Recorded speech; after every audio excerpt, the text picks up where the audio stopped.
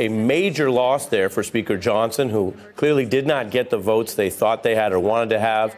Uh, speakers usually bring, bring things to the floor that they can pass. This was a hardline uh, demand by many within the Republican Party to try to make the issue of the border uh, larger by impeaching uh, the Biden Secretary Mayorkas, and this just failed. The failure there uh, of this attempt to impeach the secretary uh, means that the Republicans thought they had more votes than they did. And I could tell you, if you were watching moments ago, right along with us, for a while it was deadlocked at 215. That would have still been a failure, but a more narrow one. And then in those final moments, as I told you, the voting was still technically open. Uh, it then fell by two votes.